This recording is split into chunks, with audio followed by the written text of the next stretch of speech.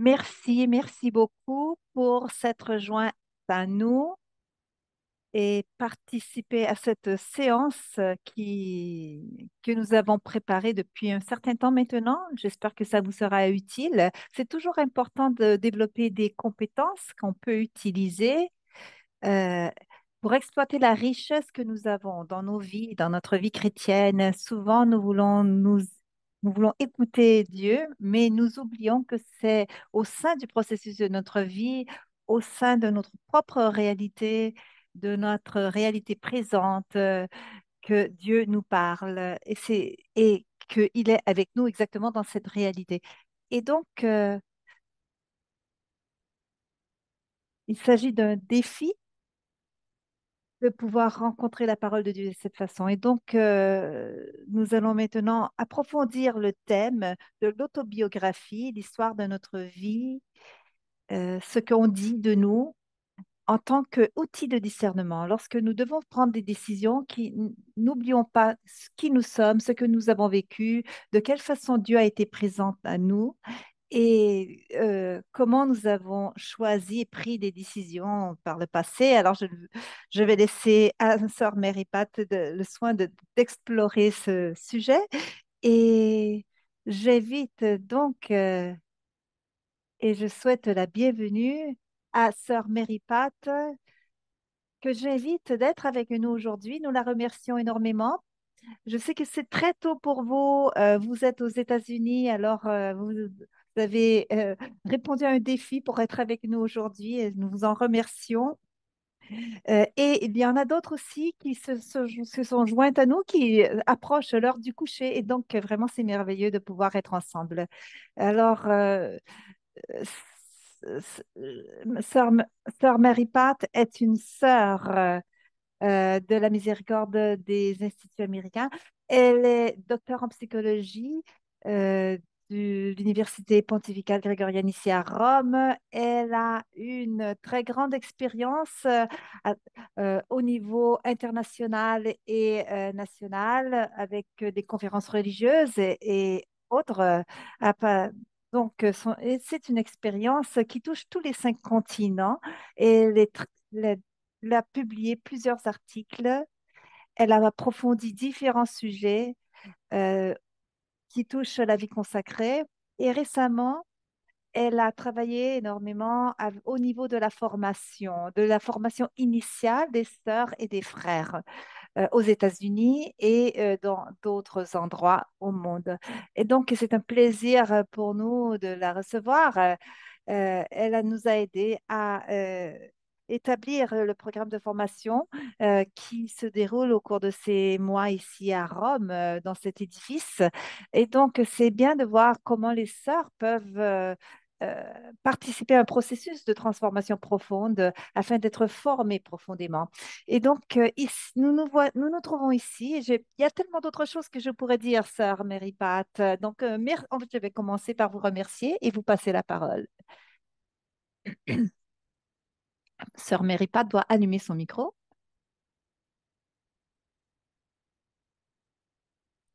Merci, Sœur Paula, pour votre belle introduction. Je suis très heureuse, ravie en fait d'être avec vous aujourd'hui. Je reconnais certains visages que j'ai déjà rencontrés à travers le monde et euh, je vous remercie pour euh, être venu et à explorer l'autobiographie, un outil de discernement par excellence.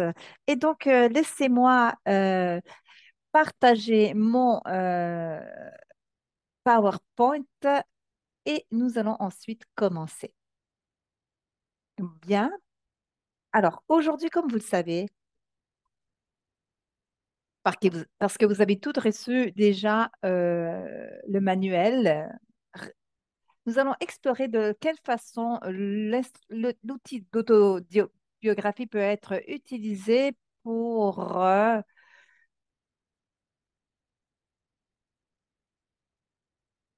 pour toute la durée de euh, la formation initiale et euh, pour toute la vie en général. Donc, j'espère qu'après aujourd'hui et demain, vous allez pouvoir apporter avec vous certaines suggestions, certaines idées peut-être euh, sur comment votre congrégation, votre propre congrégation puisse utiliser l'autobiographie euh, de, davantage pour aider les euh, femmes et les hommes à, approfondir la connaissance de soi, qui est la base pour leur discernement euh, et pour la vie.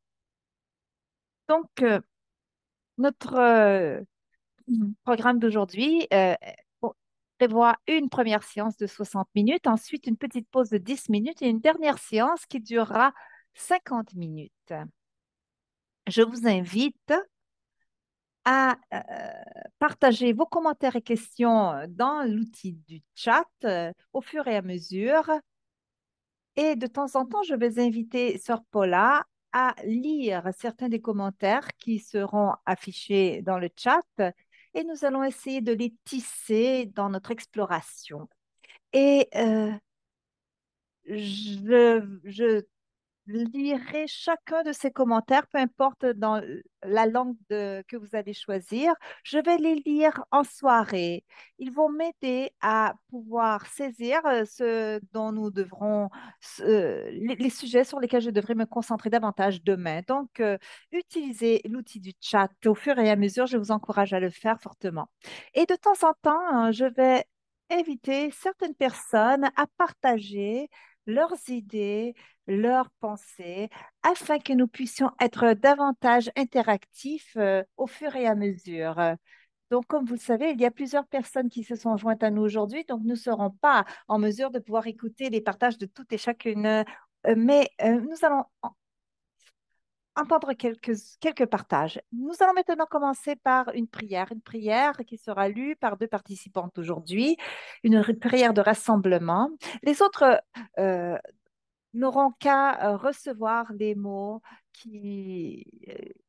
Et donc, euh, nos euh, lecteurs euh, liront les mots bleus et euh, les autres paroles. Donc, nous avons deux lecteurs, lectrices, en fait, qui seront lus. Alors, il y a les, les mots en rose seront lus par euh, le frère euh, Joseph, euh, qui vient des Philippines. Donc, prions ensemble, faisons ensemble en sorte que ce rassemblement puisse initier par la prière.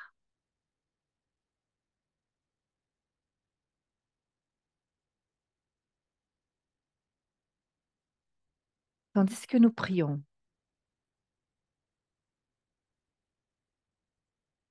alors Anne, à vous, la vous devez dire les mots en vers.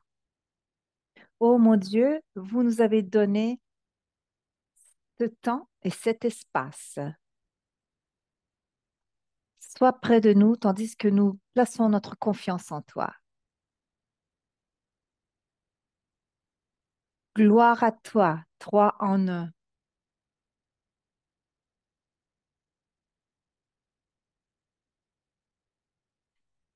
Ta miséricorde dure pour toujours. Amen. Les mots qui forment nos liturgies et litanies. Que nous puissions vous voir non pas comme un tome poussiéreux, mais comme une invitation vivante à une conversation continue.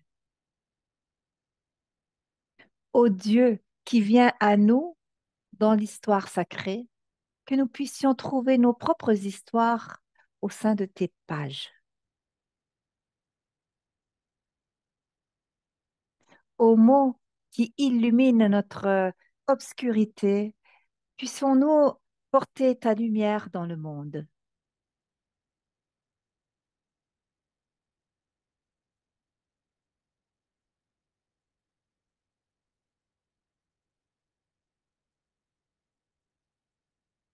Ô Dieu qui nous parle dans le silence, puissions-nous demeurer dans le confort de ta voix?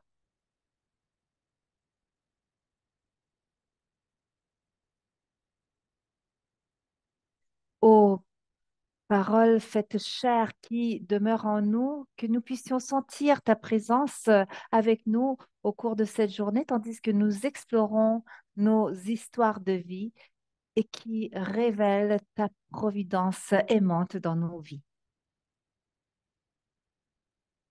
Nous demandons cette prière dans le nom de Jésus, la parole de Dieu. Amen.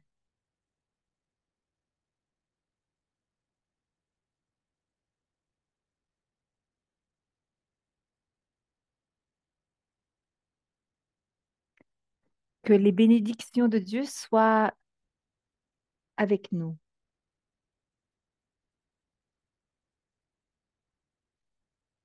Amen. Que l'Esprit de Dieu puisse nous guider sur le chemin de la paix. Amen. Que nos vies puissent être modelées sur celles de Jésus-Christ. Amen. Amen. Et, je m'excuse. Alors, je, je vous remercie énormément pour cette aide.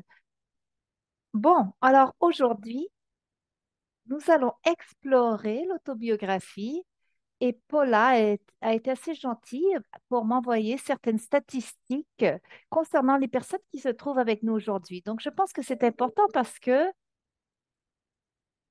chaque personne qui a un, ministère euh, particulier dans une congrégation se écoutera avec ses propres oreilles. Donc, nous avons un groupe euh, très important de formateurs ou formatrices, j'en suis très heureuse.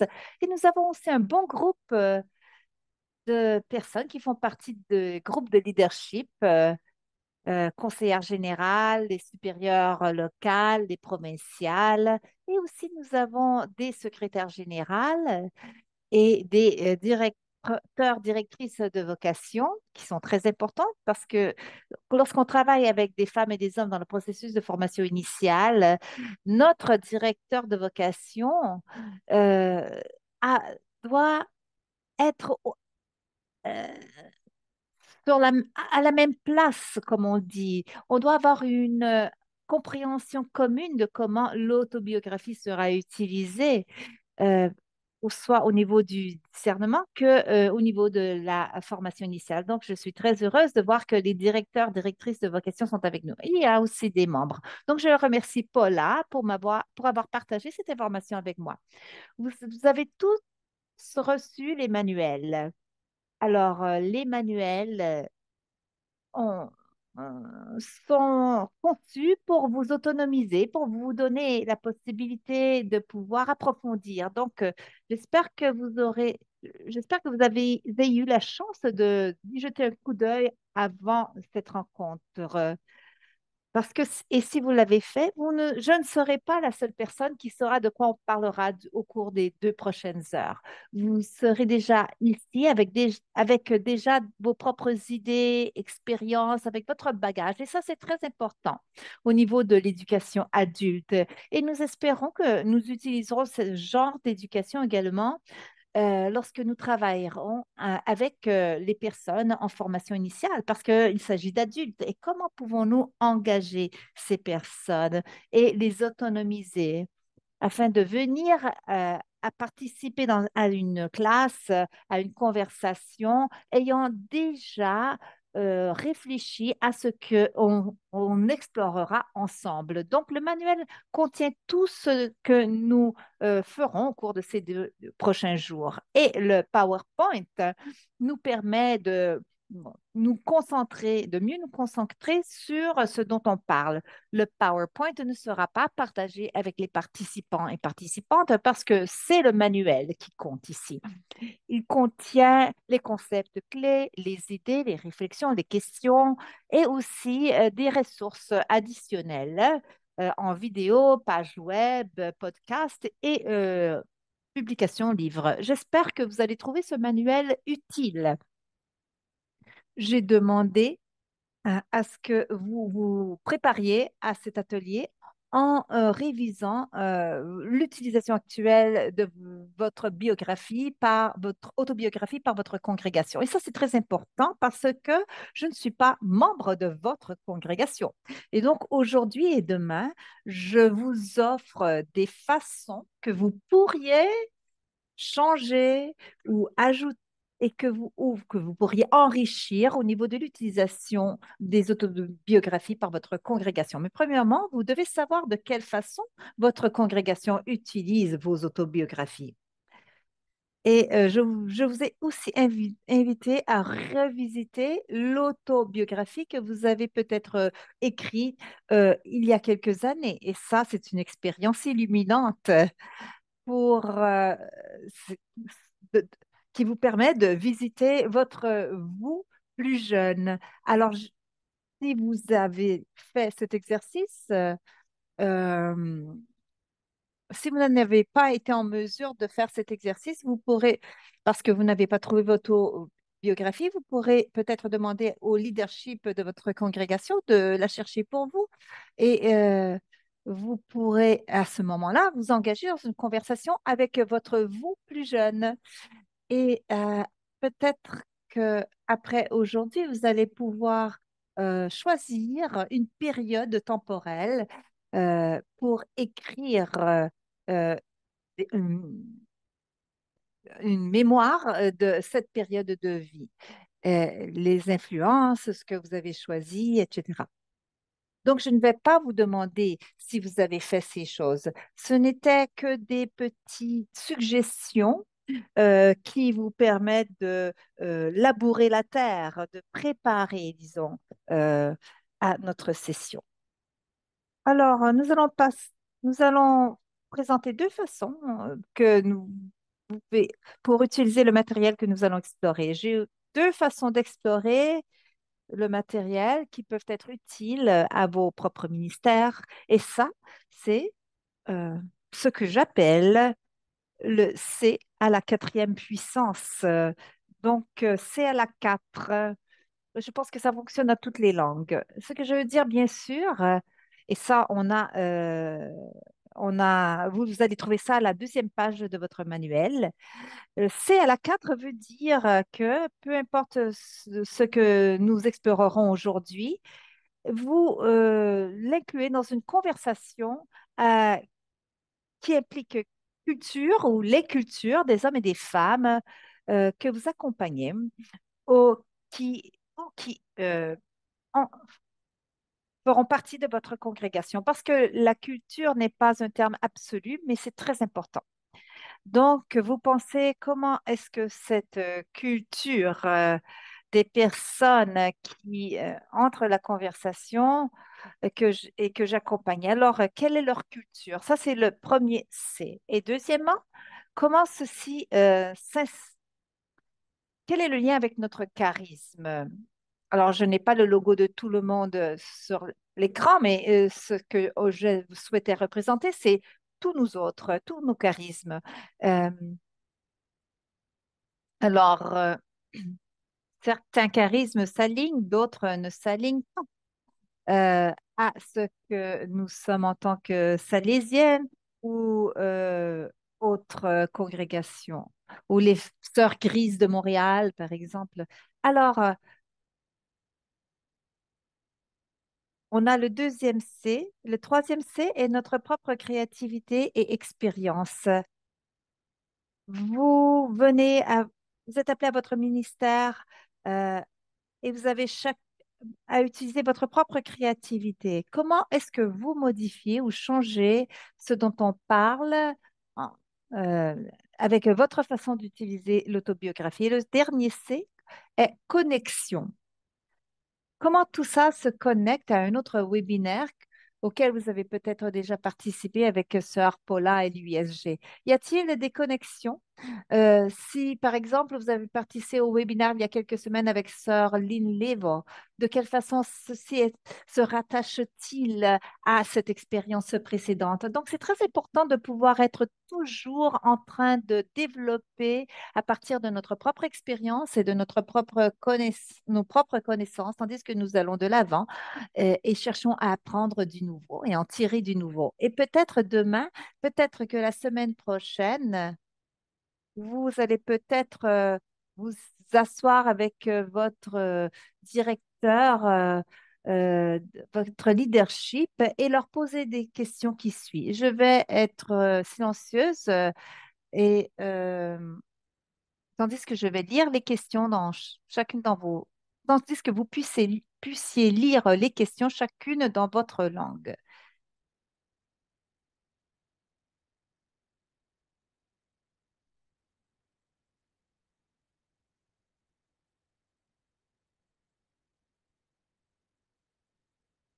Alors, seulement lorsque vous aurez considéré ces, questions, pourrez-vous vous approprier de ce que nous pouvons explorer, faire le fonctionner au sein pour vous et pour votre congrégation. Et le présentateur, rappelez-vous, n'est qu'un qu'une personne qui vous suggère des façons. C'est à vous de vous approprier du matériel et de l'approfondir. Et la deuxième Ah, Le deuxième aspect euh, provient euh, de la sagesse de euh, Saint Bénédicte. On a peut-être des, saints- des bénédictins ici, je ne sais pas, Euh, mais les bénédictins savent que dans le prolo- prologue de Saint Bénédicte, euh, Saint Benoît, euh, on nous dit qu'on doit écouter euh, par notre cœur et euh, non seulement avec notre tête, mais avec notre être entier. Donc aujourd'hui, nous allons écouter le contenu de l'autobiographie, mais Saint Benoît a dit, si tu n'écoutes qu'au contenu, tu ne feras que la moitié du travail, parce qu'on doit écouter avec l'oreille de ton cœur. On doit écouter son soi Et plusieurs fois, les personnes me, demandé, qu'est-ce que je dois chercher à entendre? On doit entendre les petites idées qui viennent à nous, les petites euh, illuminations qui, s'adonnent et qui éclairent notre, notre idée. alors, vos propres idées, vos propres illuminations qui peuvent venir de toutes sortes de façons. Euh, émotions, pensées, doutes.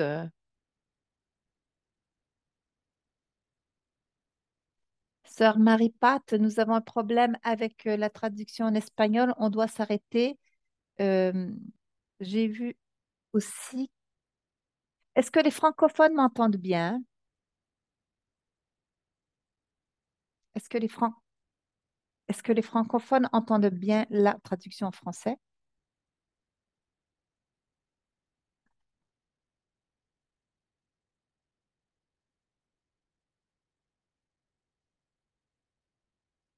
Donc, euh, ces petites idées, ces petites euh, illuminations, ces doutes. euh, alors, les doutes comptent. Saint Thomas n'aurait pas été saint s'il n'avait pas douté.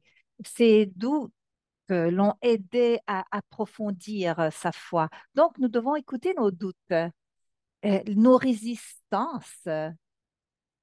La résistance a le droit d'exister et la résistance euh, est une façon euh, de nous dire que quelque chose qui a été dit nous touche en quelque part de sacré, d'important. Donc, euh, comment hum, parler avec moi? Comment dois-je m'engager dans une conversation avec moi-même au niveau de la résistance et de ce qui se trouve en dessous?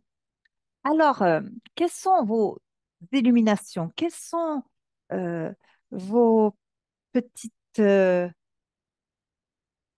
vos, petits éclairages? Nous allons l'explorer au niveau de l'autobiographie. Alors, euh, en anglais et peut-être dans d'autres langues, le mot autobiographie provient de trois racines. Auto qui veut dire soi, bio qui veut dire vie et graphie qui veut dire écrit. Et donc, euh, autobiographie est lorsque j'écris de moi, de ma propre vie. Et pourquoi ceci est-il important? C'est parce que au niveau du discernement, la connaissance de soi, une meilleure connaissance de soi, la connaissance de mes émotions, de mes façons de me rapporter aux autres, comprendre ma sexualité, comprendre euh, comment j'apprends, comment je traite les informations qui viennent à moi, bien, nous espérons que ça mènera à une auto-acceptation. Voici qui je suis. Je suis en croissance continue. Je suis en approfondissement continu. J'essaie toujours euh, d'élargir euh, ma connaissance de moi, des autres et de Dieu.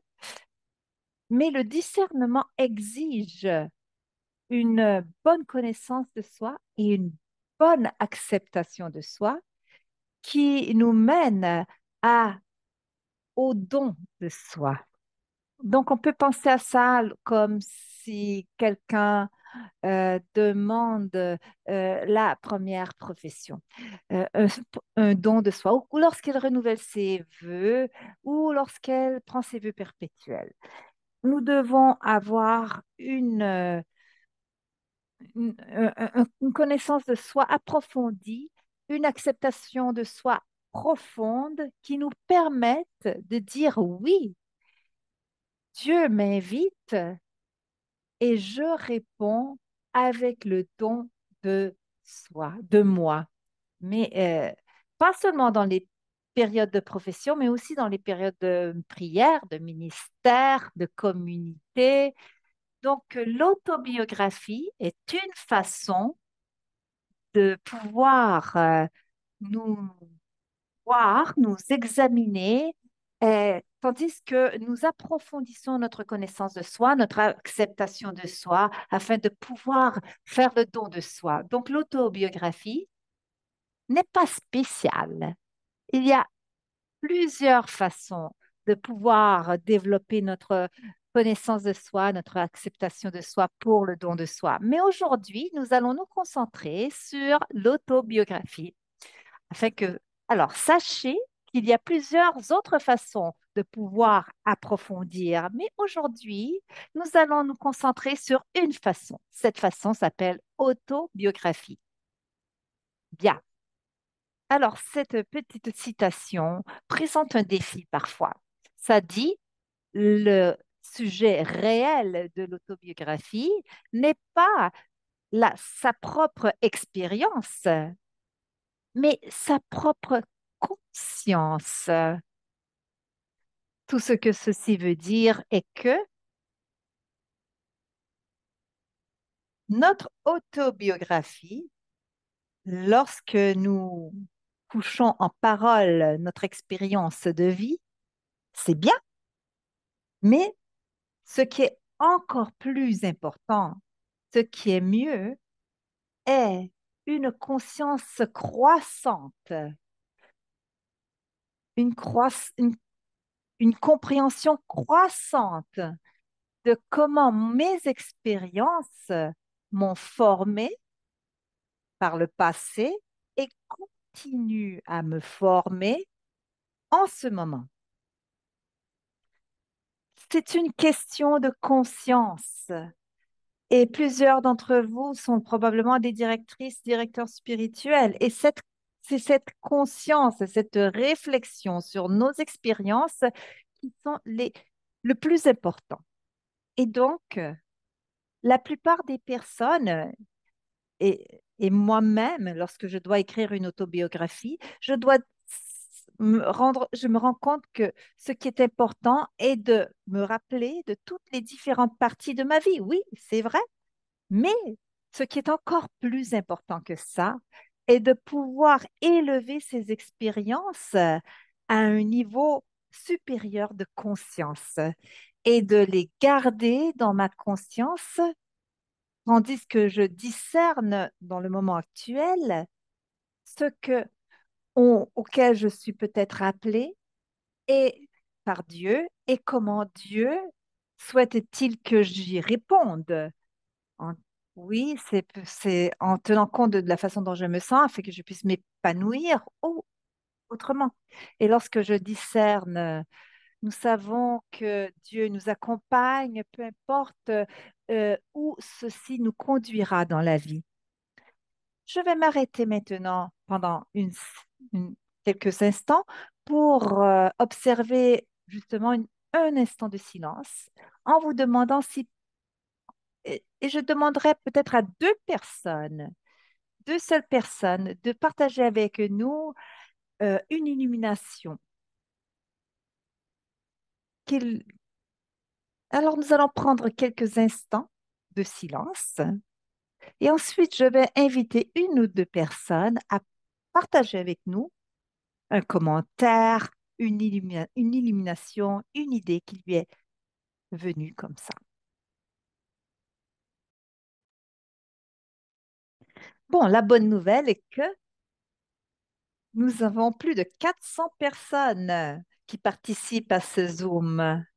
La moins bonne nouvelle est que je ne vais demander qu'à deux seules personnes de ces 400 à partager euh, un commentaire, une illumination avec nous. Mais je vais répéter l'expérience, donc il y aura peut-être d'autres qui pourront avoir euh, l'occasion de partager. Donc, euh, si vous avez quelque chose à partager, veuillez lever votre main virtuelle et Paula ou moi allons choisir l'une d'entre vous ou l'un d'entre vous.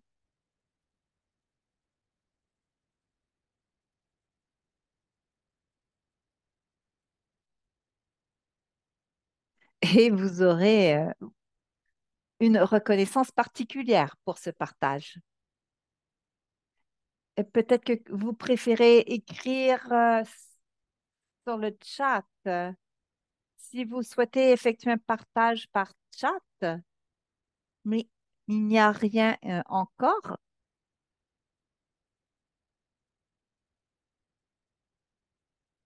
quelque chose qui vous a touché, qui vous a illuminé. Je vois quelque chose en portugais de Maria de Fatina.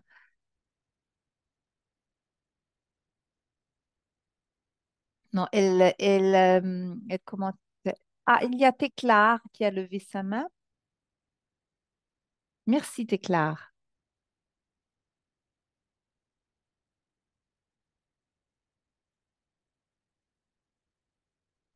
Malheureusement, on ne l'entend pas. Ensuite, il y a Adèle. Bon après-midi. Bonjour. On- oui, on vous entend maintenant.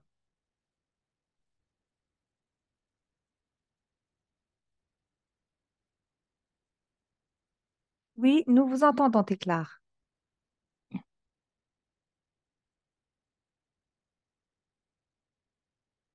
On vous entend?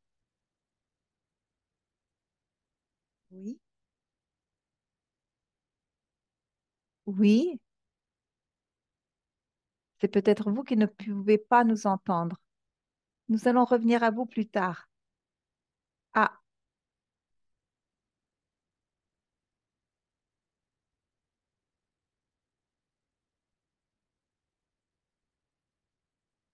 je voulais reconnaître mon appré- Ce n'est pas une question. Je veux seulement commenter ce que vous avez dit.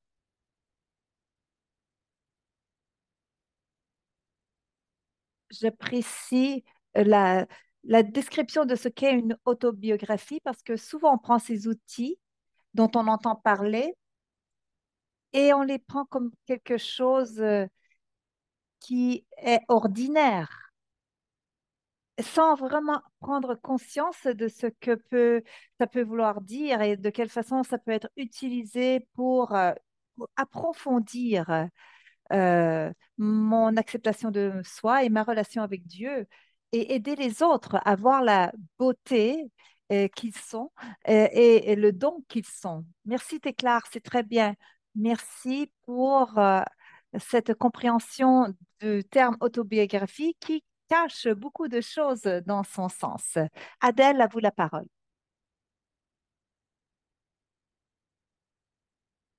Vous devez ouvrir votre micro. Ah, merci beaucoup. Euh, c'est que je, je suis plein d'émotions parce que je vois que ça m'a fait revenir euh, à plus de 30 ans, à 30 ans en arrière, euh, ce que j'avais vécu quand j'étais novice et tout ça. Avant, je ne savais pas du tout. Bon, je savais seulement qu'on a écrit quelque chose sur notre histoire de vie, on a raconté à la maîtresse, elle nous a expliqué. Mais quand j'ai vu autobiographie, je ne sais pas encore. Quand j'ai lu et, et, et j'ai compris, et je dis c'est formidable, mais ce qui me touche maintenant, c'est ce que vous avez dit, connaissance de soi, acceptation de soi pour un don de soi. Et je trouve que c'est très important. Si je ne me connais pas et je ne m'accepte pas, je ne peux pas me donner. Voilà un peu ce que je peux dire. Je trouve que c'est vraiment profond et formidable. Merci. Merci, Adèle. J'ai beaucoup aimé que vous soyez retourné à votre euh, soi plus jeune. C'est merveilleux, c'est une belle expérience. Et donc, euh, nous, allons continuer. Euh, je vois qu'il y a des commentaires dans le chat, mais nous allons nous arrêter plus tard pour partager d'autres commentaires. Je voulais seulement prendre l'occasion pour dire que j'ai envoyé, j'ai partagé dans le chat les manuels euh, concernant cette euh, présentation. Euh, donc, sachez que si vous ne les avez pas reçus auparavant, vous pouvez les télécharger à partir du chat. Maintenant, nous allons pouvoir examiner le pouvoir, le pouvoir de la narration, du récit, de l'histoire. C'est une partie un peu plus théorique et ensuite nous allons passer aux éléments plus pratiques de l'autobiographie. Et euh, Paula, comme euh, alors, en fait, vous avez lu euh, à la page 2 que le pouvoir du récit et, ou de la narration, c'est un mot compliqué pour dire histoire.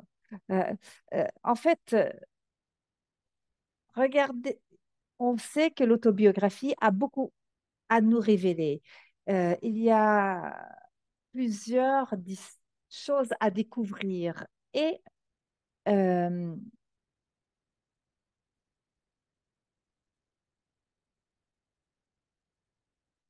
alors, euh, les récits sont partout. Les, il y a toutes sortes d'éléments qui peuvent nous aider à mieux comprendre notre relation avec Dieu. Les saints racontent leur, une histoire, le ballet euh, raconte une histoire, euh, les photographies racontent une histoire, les sculptures racontent une histoire. Donc le pouvoir du récit n'est pas seulement de nous permettre de découvrir quelque chose qui est à l'extérieur de nous. Le pouvoir de la narration, du récit, et lorsque nous regardons les euh, fenêtres euh, les verres teintés, nous pouvons voir euh, euh, des représentations qui nous permettent de voir comment Dieu pénètre notre vie, telle que la lumière qui passe à travers ces verres teintés. Et donc, le récit est très important. J'ai euh, certaines citations concernant les récits et vous pouvez penser à ce que... Alors, essayez de penser à ce que ces citations suscitent en vous.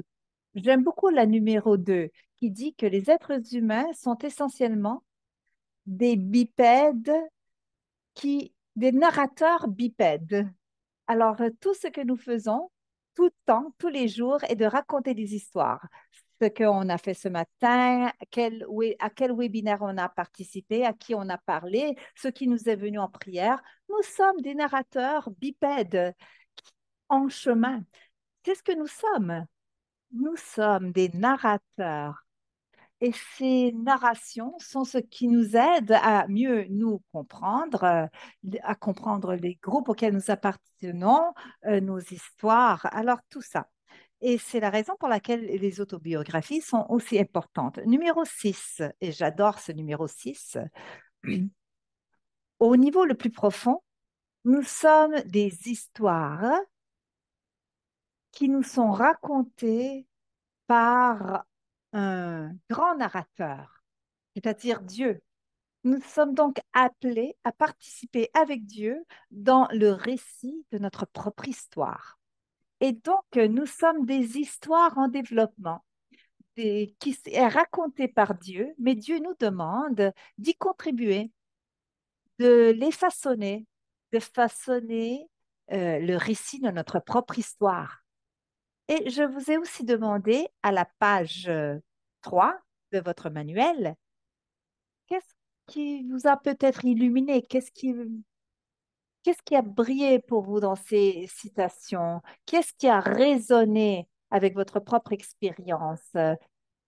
Si une situation vous a une citation vous a surprise, si une citation a élargi votre compréhension, votre compréhension, et euh, n'oubliez jamais de vous demander si euh, une citation peut avoir contredit votre croyance ou votre compréhension. On ne va pas euh, prendre vos réponses, mais on, au cours maintenant, mais si vous souhaitez l'écrire dans l'outil chat ou l'écrire pour vous-même, c'est bien. Mais si vous l'écrivez dans le chat, je vais les réviser ce soir et ça va m'aider à me préparer pour demain. Donc, euh, je vous prie de partager dans le chat toutes vos pensées, vos scintillements, vos brillements, vos illuminations. Alors, je vous donne quelques secondes justement pour faire ça avant de continuer. Je vais euh, jeter un coup d'œil au chat tandis que vous écrivez. Fantastique, il y a beaucoup de lectures qui vont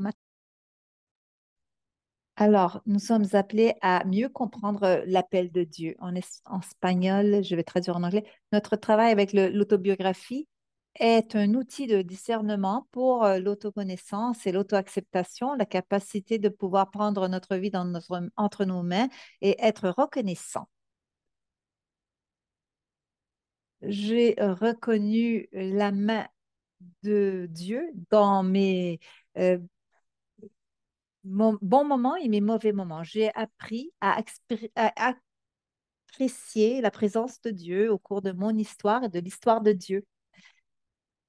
C'est excellent. Alors, je, vois qu'il y a vraiment beaucoup de, de commentaires. Il y en a plusieurs qui n'ont pas été lus encore. Alors, je vais y retourner ce soir. Je vais les passer en revue et je vais les intégrer dans ma discussion de demain. Alors, nous avons encore 15 minutes avant de passer à notre pause et j'aimerais euh, parler euh, d'un autre euh, aspect de l'autobiographie. Je vais afficher, je vais procéder à mon partage d'écran et nous continuer, vous, de votre côté, à partager avec nous dans le chat. Au fur et à mesure que des idées vous viennent à l'esprit. Bon, nous allons maintenant passer et vous allez remarquer que lorsque nous passons d'un sujet à l'autre, je commence par afficher un écran noir. Alors, nous allons passer à un autre thème, c'est-à-dire euh, où, comment s'insère l'outil d'autobiographie dans votre congrégation lorsque une personne s'appelle euh, demande de devenir membre de votre congrégation. Alors, nous sommes à la page 4 de votre euh, manuel. Alors, euh, histoire de vie, où se situe-t-elle? Alors, euh, il y a plusieurs façons d'aborder l'autobiographie. On, je reviens aux 4 C, au C à la 4, euh, culture, euh, comment nous apprenons à connaître les jeunes, les jeunes adultes qui peuvent être intéressés à notre congrégation, euh, quelle est ma propre créativité en connaissant ces personnes et comment j'aide les et j'applique toutes les différentes choses que je connais, que, que, que j'ai appris des autres. Et donc, je pense que dans toutes les cultures, nous savons ce qu'est un casse-tête. Et euh, on, nous, nous nous trouvons devant un casse-tête. Et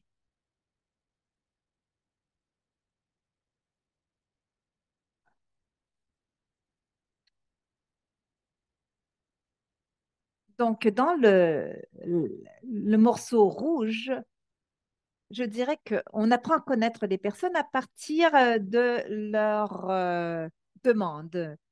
euh, leur formulaire euh, le, qui le demande lorsqu'ils le présentent. Alors, leur nom, euh, leurs expériences de travail, leurs leur éducation, leur famille. Dans le morceau jaune du casse-tête, on a and see en anglais, ça veut dire euh, une occasion de venir visiter et voir pour se rendre compte de ce, de quoi s'agit-il.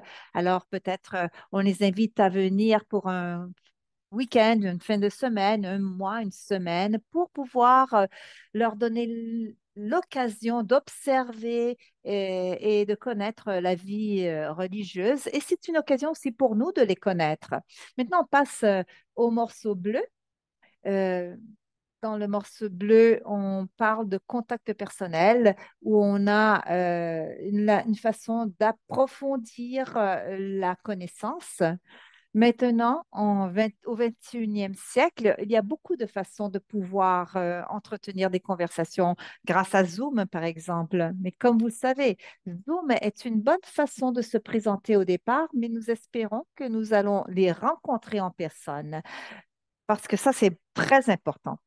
Ensuite, nous avons euh, là le morceau euh, vert de notre cassette qui est autobiographie. Et c'est une façon de mieux connaître une personne, d'apprendre à connaître une personne. Mais l'autobiographie est aussi une façon importante pour la personne d'apprendre à mieux se connaître, à mieux se comprendre. Donc, après notre pause, nous allons euh, approfondir ce concept. Mais j'aimerais vous demander, euh, on a aussi euh, un morceau bleu foncé avec une question et un morceau rose avec une question. Alors, nous habitons toute la planète Terre. Heureusement, nous sommes tous dans la planète, à la planète Terre, nous habitons toute la planète Terre, non pas la, planète Mars. Ce serait trop compliqué de se rencontrer. Mais disons que j'aimerais entendre le retour de deux ou trois personnes qui pourrait nous donner des idées sur quelles sont les autres façons d'apprendre à connaître les hommes et les femmes qui sont intéressés à explorer votre congrégation. Alors, il y a le formulaire de demande. Parfois, il y a des expériences euh, euh, de, de, de- d'hébergement pour euh, venir explorer sur place. Il y a des contacts Zoom, des contacts personnels. Mais quelles sont les autres façons? Parce que on- ce partage va nous permettre de pouvoir euh, savoir de quelles, sont les autres façons de pouvoir s'y prendre. Euh, c'est très important. Christina, Christina, voulez-vous ouvrir votre micro et partager? Nous avons un itinéraire par étapes.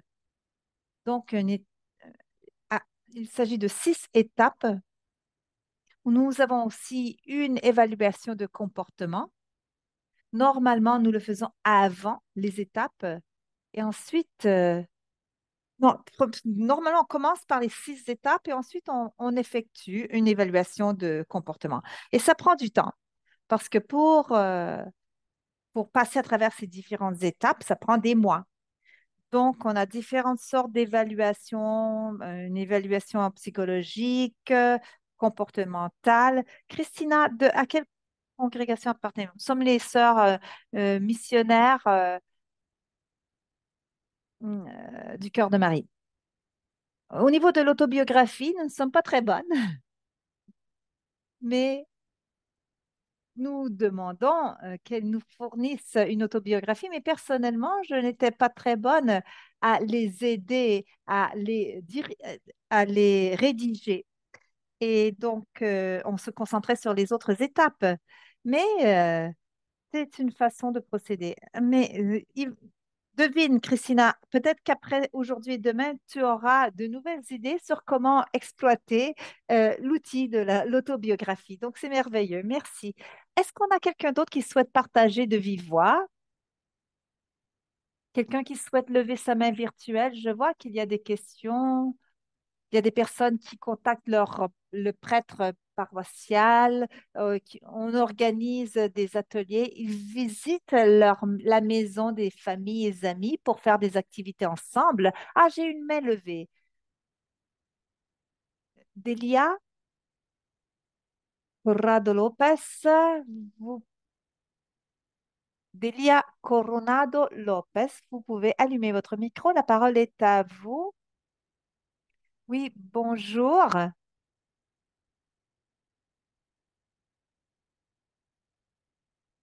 Je vis au Mexique.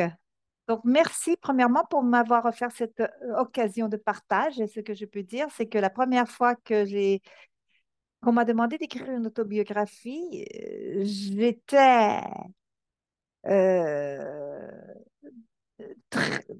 j'étais très craintive. Mais après, j'ai pris le temps d'y penser. C'est grâce à ma mère que j'ai finalement été capable de trouver euh, un sens à cet exercice qu'on m'avait demandé de faire.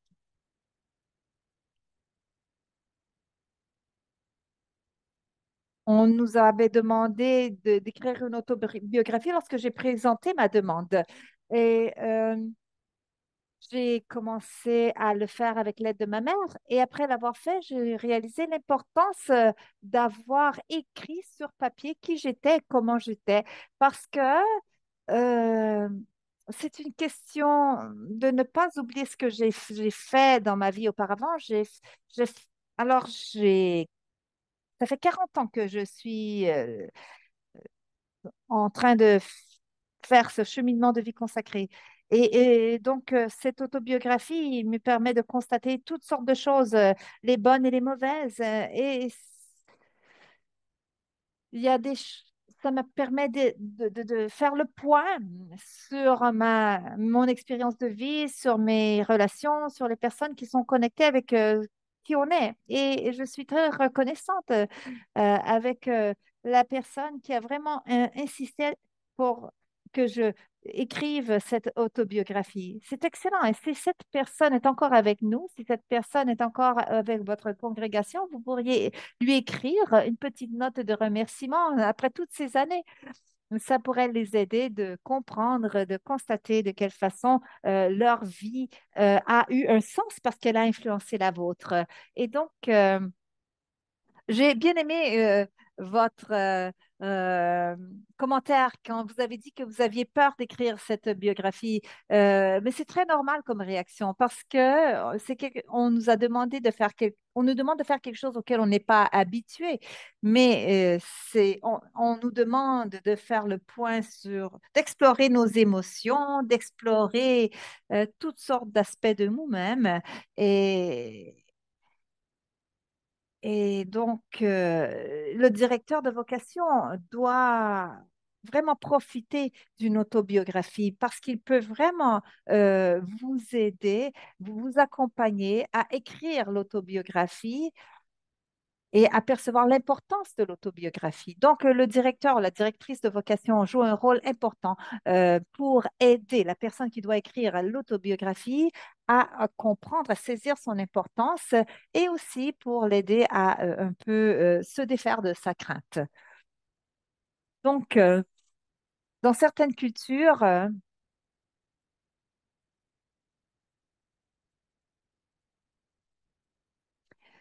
c'est peut-être difficile en tant que concept de pouvoir écrire une autobiographie parce que culturellement, on n'est pas habitué à ce genre de processus. C'est la raison pour laquelle euh, c'est important de pouvoir rencontrer la personne, d'aller la voir là où elle se trouve. Malheureusement, le son euh, de...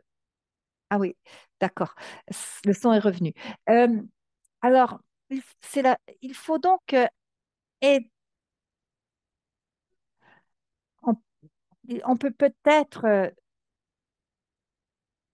donc, là, pour accompagner les personnes qui doivent écrire leur autobiographie, vous devez être euh, en mesure, vous les connaissez, vous savez quelles sont leurs capacités, vous pouvez les aider à écrire, euh, donc en leur disant pourquoi est-ce que tu ne n'écris pas de tes amis à l'école, de ton expérience d'école, euh, de ton implication euh, au niveau de la paroisse. Alors, c'est important de leur dire qu'ils ne doivent pas tout écrire dans leur autobiographie, mais euh, essayer peut-être de les aider à écrire des petites sections importantes.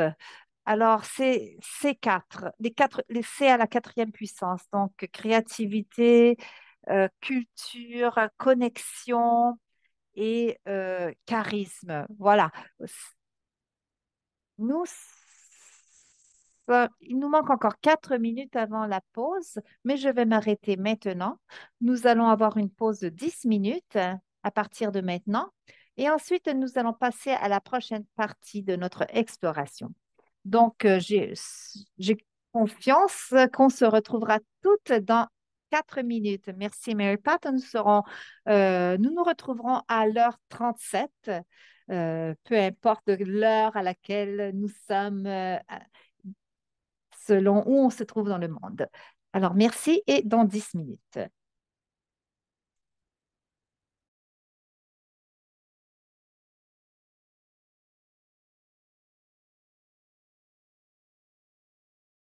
Nous revoici prête à reprendre euh, cette euh, très, intéressante présentation. Et euh, j'ai été heureuse de constater qu'il y a plusieurs commentaires sur le chat qui sont très intéressants, qui concernent les autobiographies. Alors, j'espère que votre pause, bien que courte, aura été reposante. J'ai pris le temps de regarder vos commentaires euh, et j'aimerais euh, donc euh, y répondre, répondre à certains d'entre eux afin d'alimenter cette conversation. Je n'ai pas écrit les noms, donc je ne citerai pas les noms, mais vous allez probablement vous reconnaître dans le commentaire. Et il y a différentes façons de pouvoir mieux connaître les nouveaux membres et d'accueillir les nouveaux membres et à travers un groupe WhatsApp, donc le 21, 21e siècle. Et euh, rappelez-vous que euh, ceci doit être aussi complété par des rencontres en personne. Il y a aussi des camps missionnaires. Euh, il y a aussi on peut inviter les personnes intéressées aux cérémonies de vœux et interagir avec ces personnes euh, et voir euh, de quelle façon elles se comportent dans les différentes situations. Aussi, euh, les amener à participer à une une expérience missionnaire. Et là, on peut voir de quelle façon les, euh, ces jeunes personnes interagissent avec les autres. Et ces personnes se rendent compte de ce que ça veut dire que de faire quelque chose ensemble en tant que groupe. Et euh, aussi, une personne nous a dit que rencontrer une personne euh, là où elles sont est un bon exemple de synodalité. Donc, euh, rencontrer les personnes là où elles se trouvent. Donc, euh, il s'est agi de différentes façons très, très créatives d'apprendre à connaître l'autre, les personnes, euh, des, candidats potentiels. Et, il y a une personne aussi qui a dit que dans certaines cultures, écrire peut ne pas être la façon principale de s'exprimer. Donc, peut-être qu'on pourrait s'exprimer à travers l'art. Et c'est là où les quatre C entrent en jeu. Euh, utiliser sa propre créativité et connaissance de la culture pour aider la personne à s'exprimer à travers l'art. Vous pourriez peut-être plus tard demander à cette personne de brièvement capturer, saisir en mots que cette euh, œuvre d'art signifie pour cette personne lorsqu'elle l'a créée, et de façon à ce que dans six mois, ou après quelques années, euh, si elle regarde l'œuvre qu'elles ont euh, créée, il y a à ses côtés une petite explication de ce que cet art voulait dire, cette création voulait dire à ce moment-là pour cette personne. Et une autre personne aussi a commenté que lorsqu'on lui avait demandé d'écrire son autobiographie, elle s'est sentie envahie au niveau de son privé. Alors, on va parler de l'importance euh, d'expliquer euh, aux hommes et femmes qui s'approchent à votre congrégation euh, toutes les façons qui existent et qui vont être utilisées dans le discernement pour les, leur permettre de mieux se connaître et pour aider à la congrégation de mieux les connaître. Donc, c'est important de pouvoir expliquer euh, qu'est-ce que l'autobiographie et pourquoi euh, cet euh, exercice est un élément important de votre processus de discernement. Même si pas toutes les congrégations le font. Et si quelqu'un sent que l'autobiographie peut être une envahissante, euh, une, euh, il faut leur euh, expliquer les raisons pour lesquelles on fait l'autobiographie.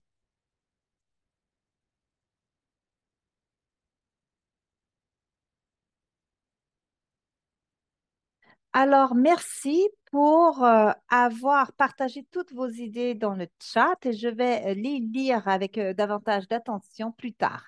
Je vais maintenant continuer.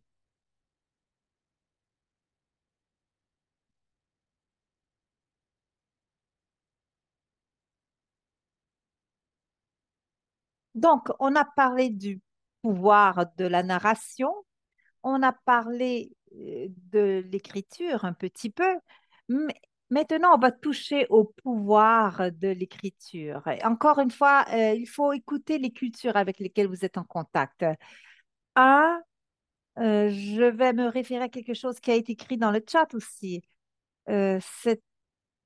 Victoria dit, pourquoi est-ce que certaines personnes résistent à, l'exercice de l'écriture de l'autobiographie? Et il y a une citation qui peut nous donner une idée que sur ce qu'est le pouvoir de l'écriture et pourquoi ça peut susciter des résistances. Euh, la résistance a le droit d'exister. C'est euh, au formateur, à la formatrice, à savoir comment travailler avec la résistance qui est importante. Alors, dans la citation numéro un, vous allez les trouver en français dans votre manuel, euh, on dit d'écrire écrire sur sa vie est un peu comme la vivre deux fois, une deuxième fois. Et donc, lorsqu'on écrit sur notre vie, même si on écrit à propos d'hier, même si on tient un journal euh, intime, c'est toujours une façon de revivre pour la deuxième fois ce qui s'est passé. Peut-être que vous avez vécu une, très belle expérience, vous vous êtes promené dans la nature, c'était merveilleux, peu importe s'il faisait chaud ou froid, s'il y avait de la neige ou du soleil. Alors, euh, Tandis que vous écrivez à propos de cette expérience, vous la revivez en fait. Qu'il s'agisse d'un journal intime, d'une lettre, euh, d'un courriel. Alors, euh, cette, euh, revivre peut parfois susciter des résistances. Et votre rôle est d'accompagner les personnes, de marcher aux côtés de ces personnes afin de les aider à comprendre que les résistances ont leur raison d'être parce que c'est une façon de se découvrir. Et maintenant, j'ai la citation numéro 4, je l'adore. Voyez ce qui s'est passé dans votre vie durant l'action de l'écriture je me suis dit quelque chose que je ne savais pas, que je savais. Avez-vous déjà écrit quelque chose en vous disant, oh mon Dieu, je, ça fait tellement longtemps que je, je ne comprenais pas ça, mais voilà, ça m'est venu comme ça et maintenant je comprends, je comprends. Je viens de m'éclairer. Parfois, on, découvre qu'on savait déjà, qu'on connaissait déjà ce qu'on cherchait. Alors, il y a aussi la sixième citation. Nous sommes toujours en train de changer notre passé. Chaque récupération du passé est une transformation du passé. Et simplement dit, mais pas simplement fait. Ce que ça veut dire, c'est que lorsque nous rappelons le passé, souvent, ce n'est pas exactement ce qui s'est passé.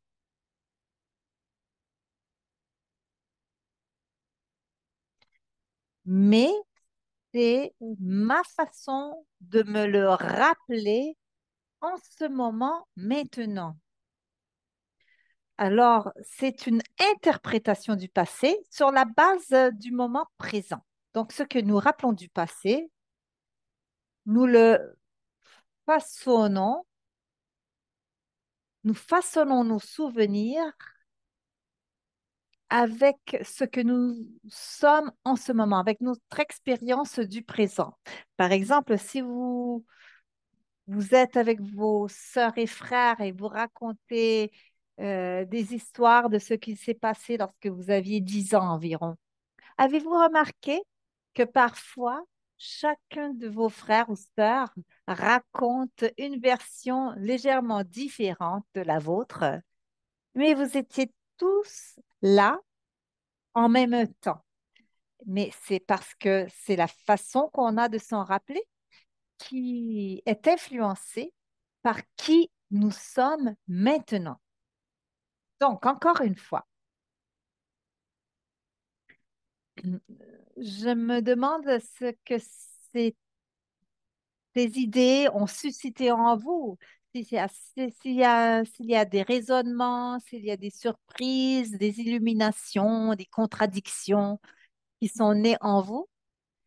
Et euh, j'aimerais choisir une ou deux personnes qui lèvent leurs mains virtuelles. Alors, si j'aimerais, j'aimerais savoir s'il y a des choses qui vous ont frappé, s'il y a des choses qui ont été suscitées par ce discours-là qu'on vient de faire, levez votre main et partagez. Parfois, je vois des choses qui se passent, qui sont écrites sur votre front tandis que nous travaillons. Je vois Doris qui rit parce qu'elle sait que je fais ça parfois. Je peux lire ce qui se passe dans votre tête. Il y a un commentaire en espagnol, je vais essayer de le traduire. Ça m'est arrivé plusieurs fois. Et lorsque j'écris, je trouve des réponses à mes questions. Et c'est-à-dire que moi et Dieu, nous sommes à l'œuvre. Excellent.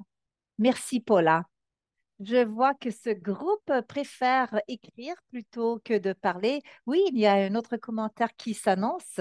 Oui, il est vrai que durant l'acte de l'écriture, on découvre quelque chose de nouveau auquel on n'a jamais pensé avant de façon claire, ou plutôt, on le voit de façon plus claire. Alors, on découvre des choses auxquelles on n'a jamais pensé avant ou on les voit de façon plus claire. Et donc, euh, merci Anna. Vous devez allumer votre micro pour effectuer ce partage de vive voix.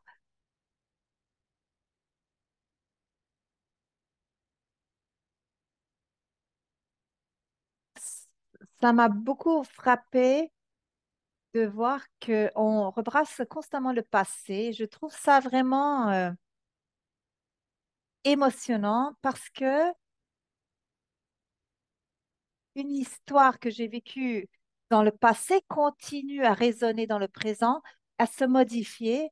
Et pour chaque récit de la même histoire, euh, euh, dans, à différents endroits, au fur et à mesure que le temps passe, le même récit se euh, change et modifié selon ma façon de le voir, de le saisir, de le percevoir. Euh, je, par exemple, je pars de la joie. La joie que j'ai acquise par la force de mon cheminement me permet de saisir de façon différente le sens d'une expérience passée. Et ça me renforce de nouveau. Je vois la même histoire lorsque je suis en... La même chose se passe lorsque je suis en difficulté si je relis cette histoire, je raconte la même histoire qui appartient au passé, cette histoire s'est encore modifiée, elle assume une nouvelle lumière, de nouveaux tons, et ça veut dire que je dois, j'ai encore quelque chose en moi qui, a, qui reste encore à être réécrit et être relu afin de pouvoir, que cette histoire a encore des choses à raconter en fait. Et donc, c'est un parcours infini. Merci. Ah, Excellent, excellent. Quel merveilleux partage. Et ça, c'est justement euh, une partie de ce qu'on explorera demain, que chaque fois qu'on lit ce qu'on a écrit, qu'il s'agit d'un journal, d'une lettre, d'une autobiographie, chaque fois, on saisit quelque chose de nouveau, de plus profond, quelque chose qu'on avait, auquel on était passé à côté avant. Donc, ça, c'est très important. Et il y a aussi un autre aspect que vous avez souligné qui est important, c'est que le passé, le présent et l'avenir sont tous vivants en nous maintenant. Votre passé vous a amené à qui vous êtes aujourd'hui. Votre avenir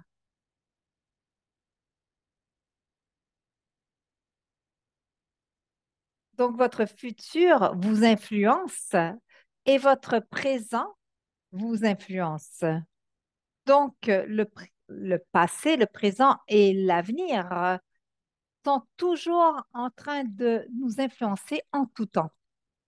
Et ça, c'est important pour euh, la personne qui passe à travers la période de discernement et c'est important euh, pour le directeur des vocations. Euh, donc, on doit tenir ça à l'esprit. Donc, on va prendre encore une minute. non, on va donner la parole à Lorley. Oui, bonjour. J'ai trouvé fascinant la citation numéro 4 qui dit que lorsque nous écrivons ou lorsque nous racontons notre histoire, nous réalisons que nous savions des choses que nous ne savions pas savoir. Donc, euh, ça nous révèle des connaissances qui sont déjà en nous. Et c'est tellement vrai. Et je crois que c'est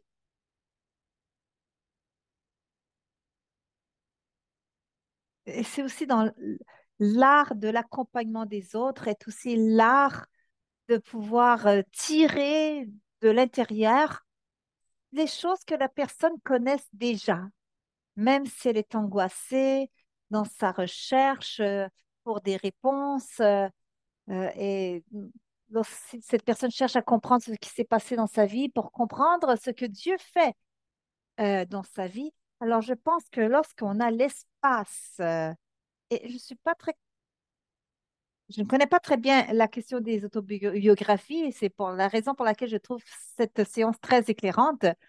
Mais ça nous, je pense que c'est un espace qui nous permet de réfléchir à ce qu'on a vécu et tout d'un coup comprendre quelque chose que nous savions déjà sans savoir vraiment comment l'exprimer, sans que ça, ça ait été parfaitement révélé.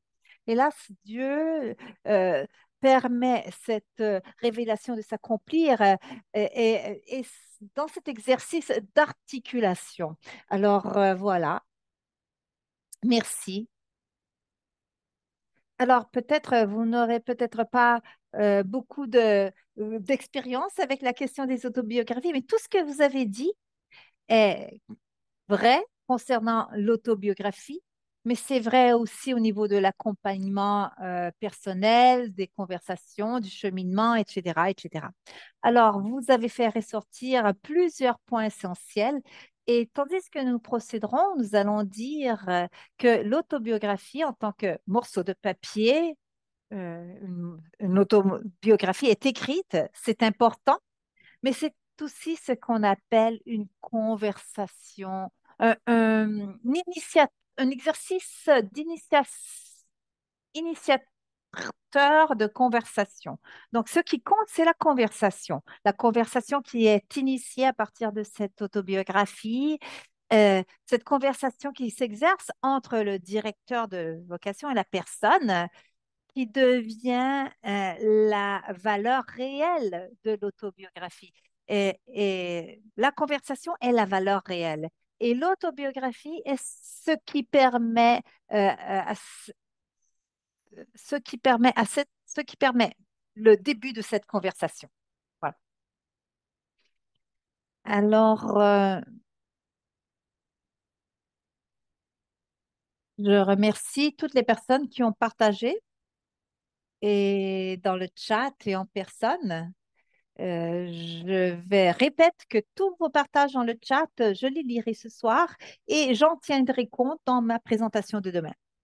Et maintenant, passons à autre chose. Je vais vous présenter des images qui vont nous aider à comprendre comment euh, l'autobiographie est un outil de discernement. Et la première image est la suivante. Vous l'avez dans votre euh, euh, manuel. parce que l'autobiographie peut être saisie comme étant une réflexion de moi-même dans un miroir. Alors, regardez les différentes photos là. Et vous allez voir que dans cette première photo d'une petite fille qui est dans une petite robe, jolie petite robe, on peut mieux la voir dans le miroir qu'on peut la voir dans dans la personne réelle. Alors, euh, ça nous dit qu'on peut... Et la, la, photo du milieu, c'est la même chose.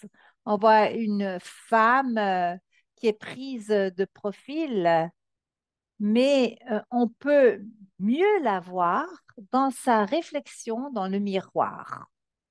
Et là aussi, on a ce petit garçon qui pose euh, son menton sur le miroir. Et là, on peut voir euh, ces deux visages dans la réflexion. Et l'idée, et Lorly l'a mentionné avec d'autres mots, l'idée est que lorsque nous relisons notre propre autobiographie, nous pouvons parfois mieux comprendre des choses sur nous-mêmes que nous, que nous aurions que nous l'aurions pu faire avant d'écrire. Donc, euh, lire en lisant une autobiographie, je peux mieux comprendre ma propre expérience.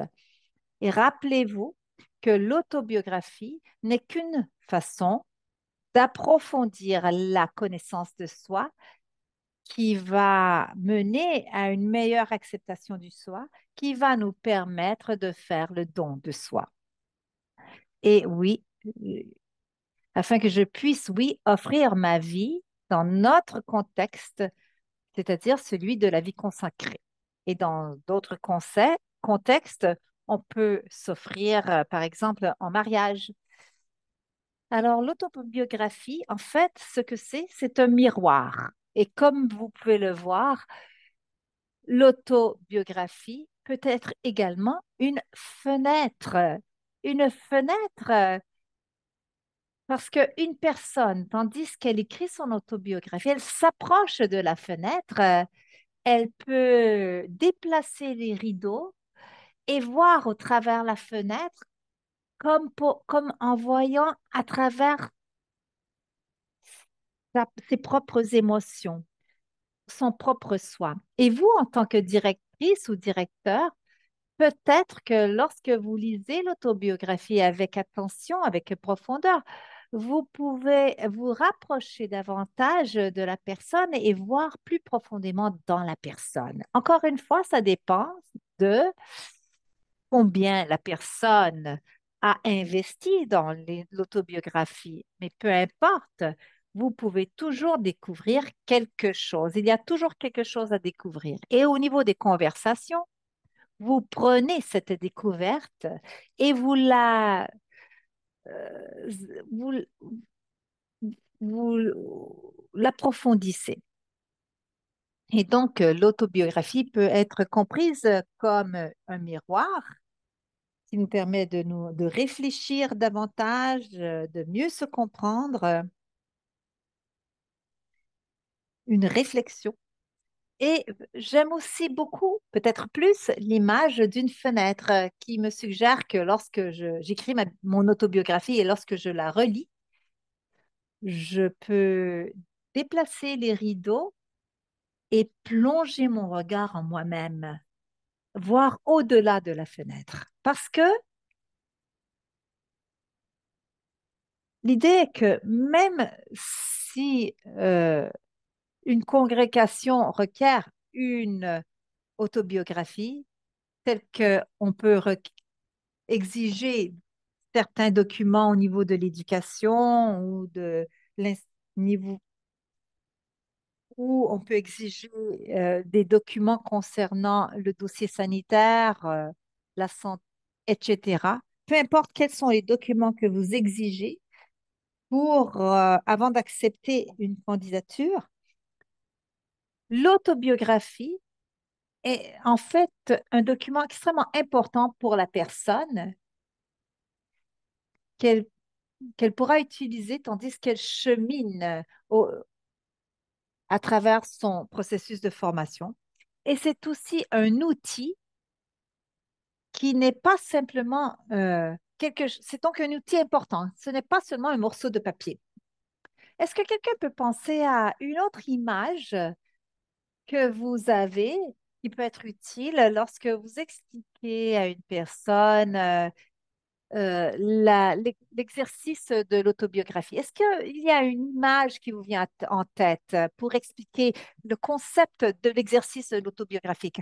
Moi, j'ai parlé de miroir, j'ai parlé de fenêtre. Peut-être que vous avez euh, eu d'autres idées parce qu'il y a d'autres parce qu'il y a d'autres cultures. Il y a quelque chose en français. Malheureusement, je ne connais pas le français. Euh, une, route, un casse-tête un puits, un puits. Ah oui, j'aime cette idée du puits. Et euh, il y a aussi euh, Alfonso. Alfonso, tu souhaites prendre la parole de vive voix, Alfonso? Oui, moi j'aime beaucoup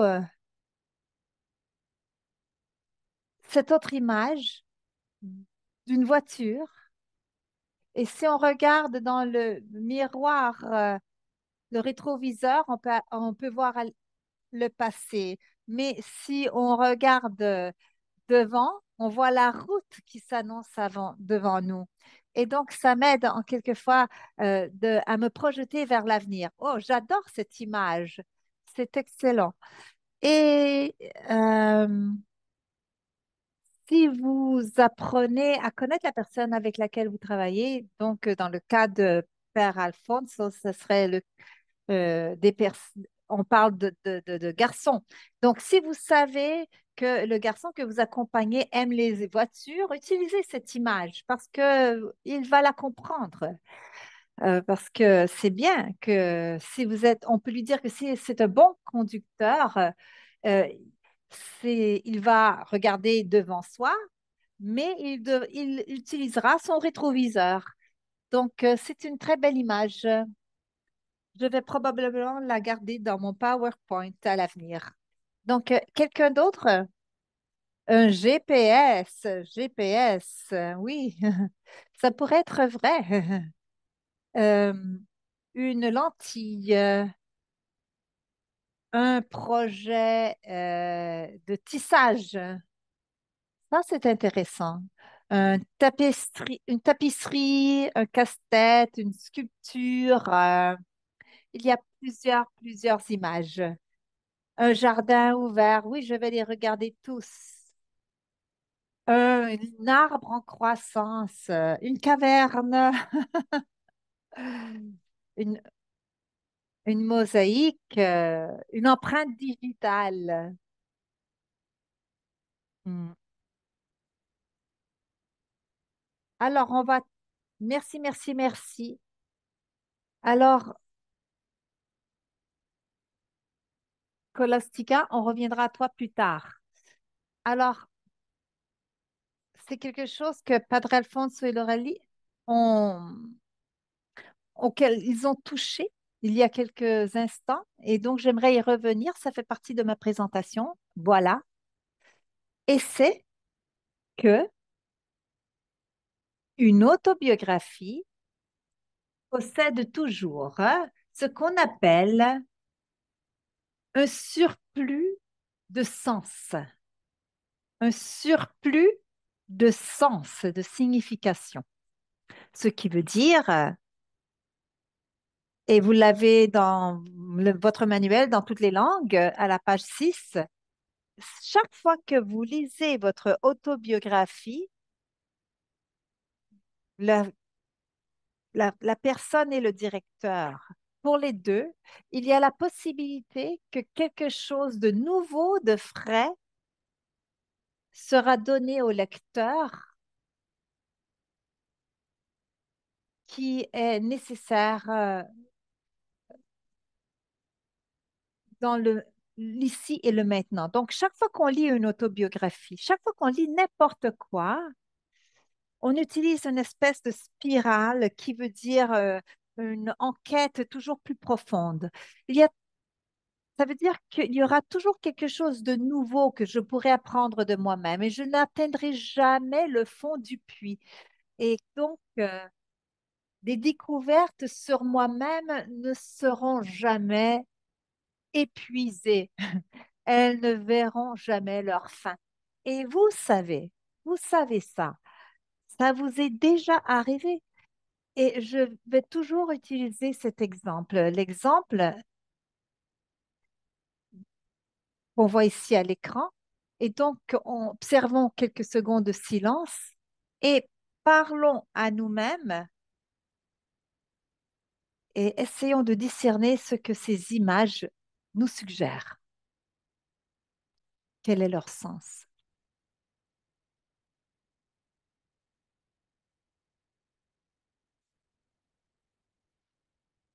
Alors, gardez l'écran en tête parce que je vais enlever l'image. Alors, il y a deux, deux tableaux et puis il y a le symbole qui dit surplus de sens. Est-ce que quelqu'un souhaite partager avec moi ce que euh, ces deux tableaux suggèrent avec euh, euh, le symbole de surplus de sens, qui est cette spirale avec la flèche qui pointe vers le bas?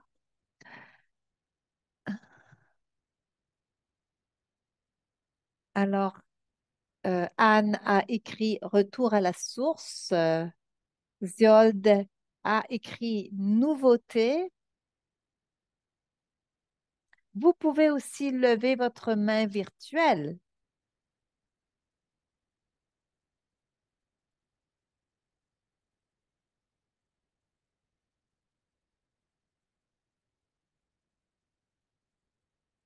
Brigitte, tu es très expressive. Est-ce que tu souhaites partager quelque chose avec nous? Euh, vous devez allumer votre micro. Brigitte, je vous ai vu.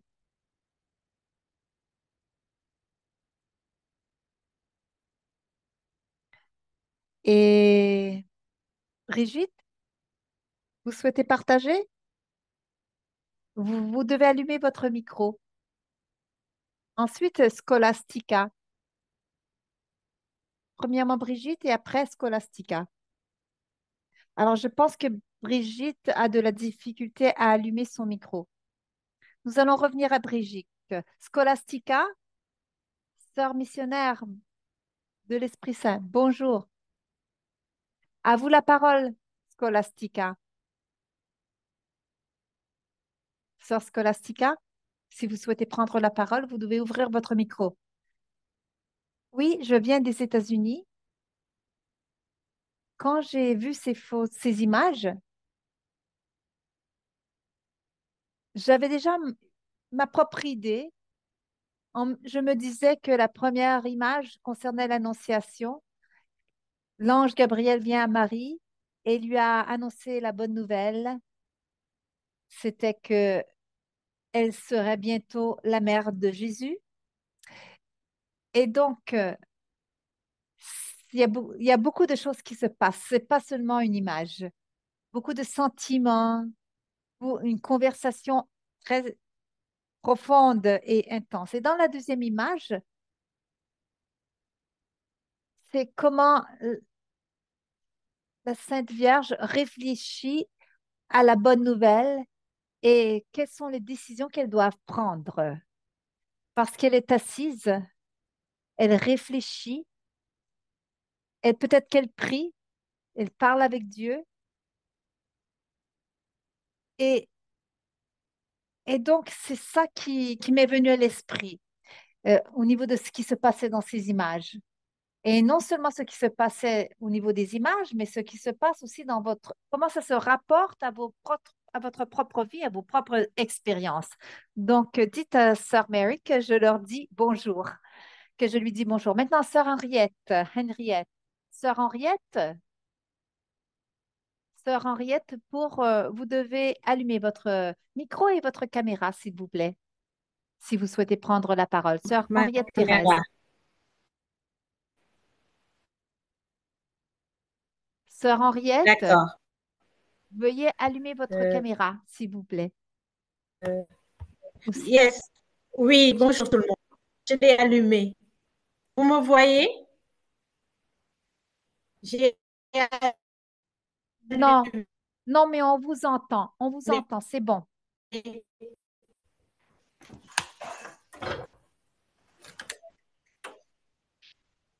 D'accord.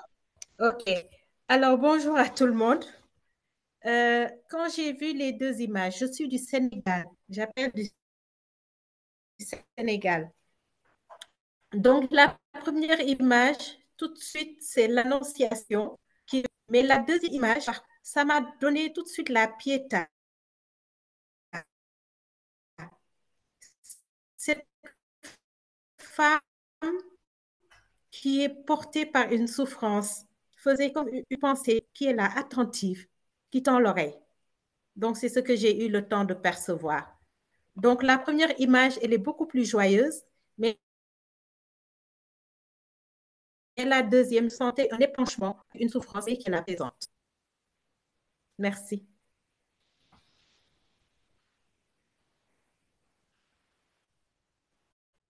Merci, c'est bien de pouvoir euh, avoir reçu ce partage du Sénégal. Merci Henriette. Henriette.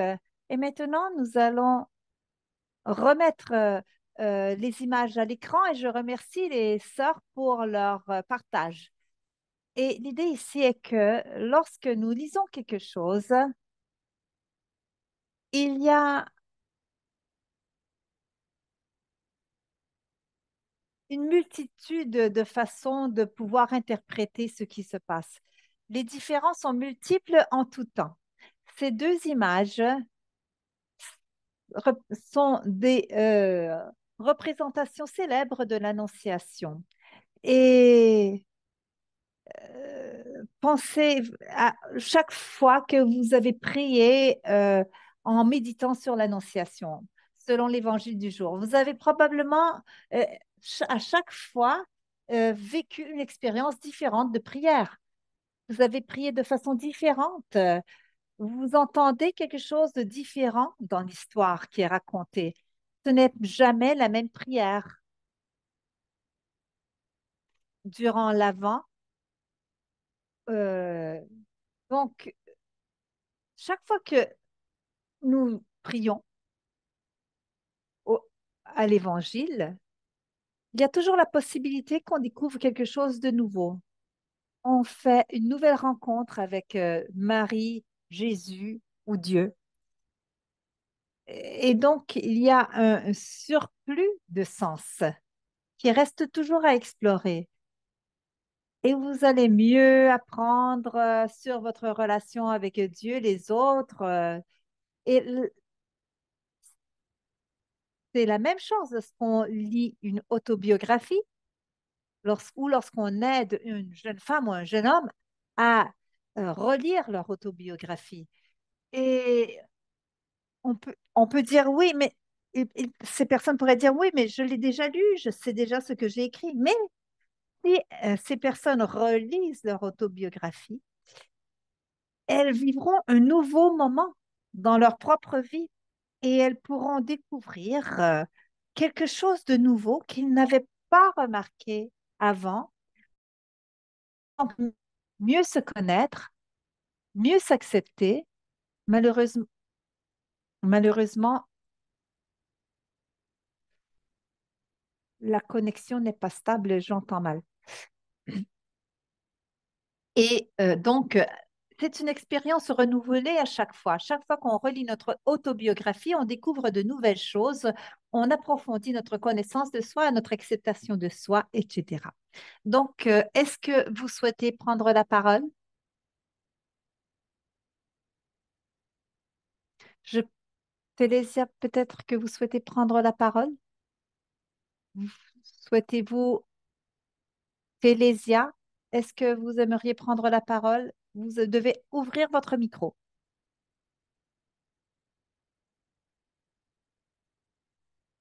Vous m'entendez? Oui. Bonjour. Bien de vous. Je suis très heureuse de vous revoir. Mon expérience est très encouragée parce que ce que, parce que vous venez de dire sur ces moments. Parce que au noviciat, j'ai suivi, je, fais des suivis en me servant des autobiographies. C'est très encourageant parce que je leur donne l'occasion de passer ça en revue, ainsi que moi-même, parce que je ne sais pas ce qu'ils ont fait avant. Et donc, ça, je ne connais pas vraiment, je n'ai pas toutes les informations qui ont été discutées avant avec euh, les directeurs durant leur postulat, durant leur... Donc, durant ce nouveau euh, cheminement euh, du noviciat, c'est mon point de départ. Donc, on le passe en revue petit à petit et on approfondit petit à petit. Et ça m'a beaucoup aidé et ça les a beaucoup aidés à rentrer à un niveau plus profond, cœur à cœur, euh, au niveau de la culture, de leur famille, de toutes leurs expériences. Et donc, c'est très utile. Ah, on dirait, Sœur Télésia, que vous l'utilisez comme initiateur de conversation. Oui, et je l'ai dit aussi dans le chat, c'est comme euh, un tissage, un tissage que nous faisons ensemble. Alors, euh, on a différentes cultures, donc on tisse ensemble. c'est donc un métier à tisser un métier de une occasion de rencontre, euh, d'intégration de différentes expériences de vie. Et vous avez aussi souligné l'importance euh, de comment euh, intégrer les autobiographies avec les cultures, utiliser des images de, des différentes cultures d'appartenance. et il y a vous êtes vous avez participé à la formation pour, formateurs ou formatrices ici à Rome. Donc, vous êtes ici à Rome. Je suis très heureuse de, vous revoir. Donc, Sœur Paula, est-ce que vous pourriez lire aussi quelques autres commentaires avant de continuer? Oui, je peux, bien essayer. Alors, euh, j'ai travaillé, j'ai écrit l'autobiographie et encore une, j'ai écrit une autobiographie encore une fois dans le programme pour les sœurs euh, âgées et j'ai vu plusieurs miracles qui, équivalent à les interventions de Dieu dans ma vie. Alors, euh, pas tout est clair. Alors, tandis que je réfléchis, il y a une révélation, Euh, mais jusqu'à un certain point, parce que je suis toujours en train d'apprendre. Tout est dans, tout s'éclaircit au fur et à mesure. Il y a quelque chose sur l'annonciation. Alors, ça me parle comme quelque chose qui était peut-être une intuition et qui euh, devient de plus en plus clair euh, euh, au fur et à mesure que la nouvelle se révèle. Alors, plusieurs commentaires. Les miracles, ça se passe à chaque jour. Par exemple, le fait de se lever le matin est un miracle. Et dans le discernement, on, nous, on obtient euh, un peu de lumière petit à petit. C'est comme conduire une voiture. Lorsque nous conduisons une voiture le soir, nous avons l'illusion que nous pouvons voir la route devant nous, mais nous savons que nous ne pouvons voir que quelques mètres qui sont éclairés par nos phares. Mais tandis que nous allons de l'avant, les phares illuminent plus loin.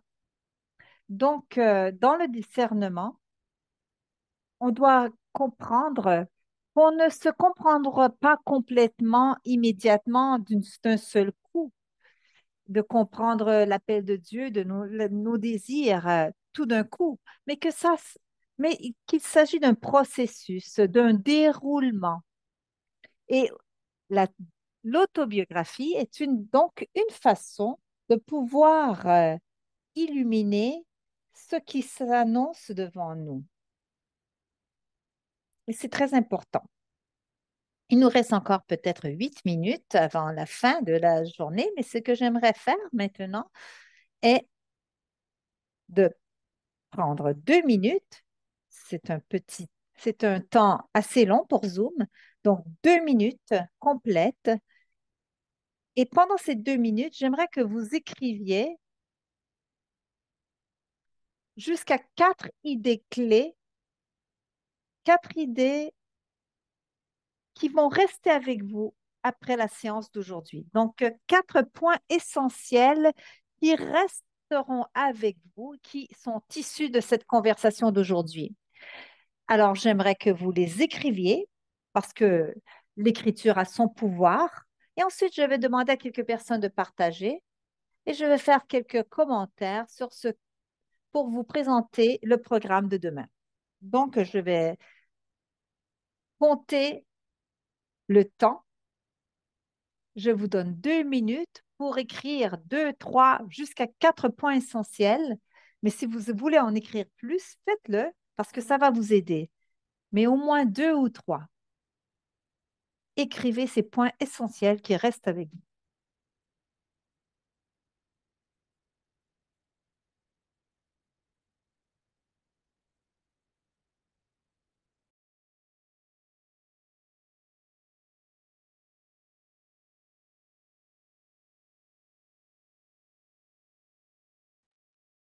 Le temps s'est écoulé.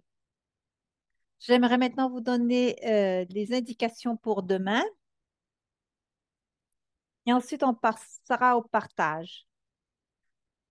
Alors, euh, j'espère que demain, avant demain, vous aurez le temps de lire euh, les pages euh, qui commencent par la section numéro 9, donc des pages 6 jusqu'à la page, de la page 6 à la page 11 à partir du point 9, afin que vous ayez euh, une idée de ce qu'on discutera de demain. Et ensuite, si vous allez à la page 15, qui est la dernière page de votre manuel, je vous demande de répondre brièvement aux quatre questions qui se trou- qui s'y trouvent. la page 15. Donc, euh, il y a des questions auxquelles vous êtes invités à répondre. Et ensuite, je vais inviter les personnes à partager ce qu'elles ont écrit euh, en tant que réponse. Donc, je dirais passer 5 à 10 minutes sur la page 15. Et ensuite, si vous avez le temps de lire les pages 12 à 14, il s'agit de des pages qui offrent des exemples sur comment utiliser l'autobiographie euh, au cours des années euh, et dans les différents, à différentes étapes comme le noviciat et le postulat. Donc, euh, on vous demande de vous préparer à l'intervention de demain en lisant à partir de, du point 9 jusqu'à la page 11 et ensuite de répondre aux questions à la page 15 et si vous avez le temps, de lire euh, les euh, contenus de la page euh, 12, euh, 13, euh, de la page, pardon, 14 et 15, presque 15, pardon. Sœur Doris, euh, est-ce que vous avez un partage?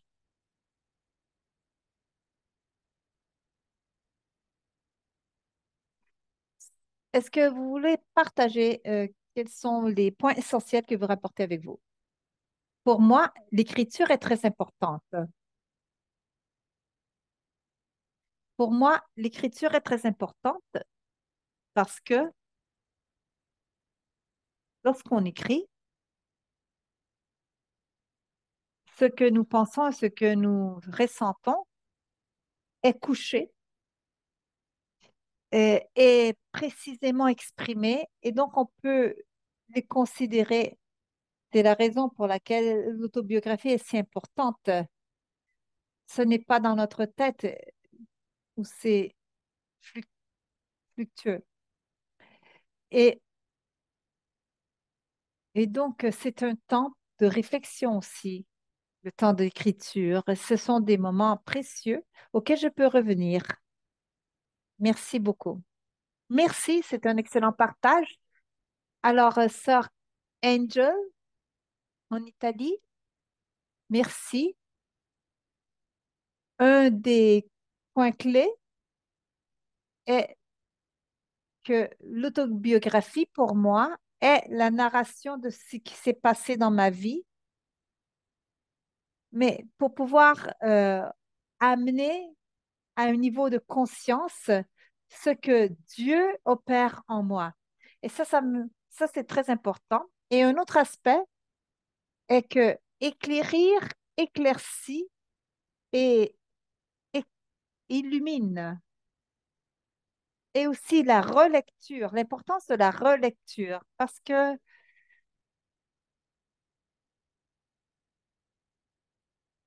parfois on est tenté de ne pas dire, lorsqu'on relit, on passe à côté, on met de côté, on dit, ben, je sais déjà de quoi il s'agit, mais j'ai appris la- à reconsidérer l'importance d'une relecture. Alors, euh, me rappelle aussi, ça me donne l'idée que euh, une torche euh, peut être euh, une belle image pour nous aider à comprendre le concept de lecture.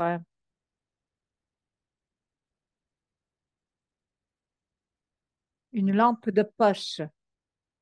Donc, je vous remercie pour avoir participé à la rencontre d'aujourd'hui et je me réjouis euh, de vous revoir demain matin. Je vais passer la soirée à lire vos commentaires pour les intégrer dans ma présentation de demain. Maintenant, la parole à Sœur Paula. Merci, merci beaucoup. Il y a des milliers de commentaires euh, dans le chat. Tu auras donc beaucoup de travail à faire ce soir. Et je pense que les gens sont très enthousiastes. Ils ont beaucoup à dire euh, au niveau de l'autobiographie. Je n'ai pas beaucoup de choses à ajouter. Je te remercie parce que tu nous as amené à cheminer dans, sur une voie très particulière et tu nous as donné vraiment beaucoup d'éclairage, beaucoup d'idées et, euh, il y a euh, ça nous a permis de, saisir euh, la question de l'autobiographie d'une nouvelle façon. Euh, comme euh, initiateur de conversation, comme façon de, décou- de découvrir et de développer la communauté. Ce n'est pas seulement une question d'examiner les personnes qui cheminent, mais so- souvent on ne se connaît pas bien les uns les autres. Euh, c'est une façon d'examiner le passé, le futur, le présent. Il y a, les 4 C, la culture, la créativité, la communication. Alors, vraiment, je, serai très heureuse de vous accueillir à nouveau demain matin. Et je, sais que je vous remercie aussi pour avoir traduit les manuels dans les quatre langues. C'est un très grand effort.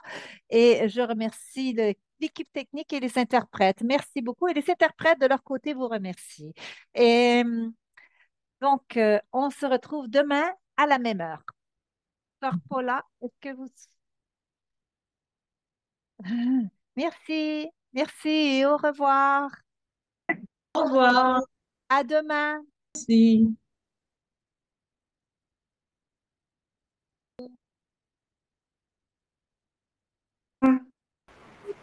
Oui, Merci. oui, bonjour. Merci beaucoup. Désolée pour le retard. Voilà, mais j'ai retrouvé le manuel.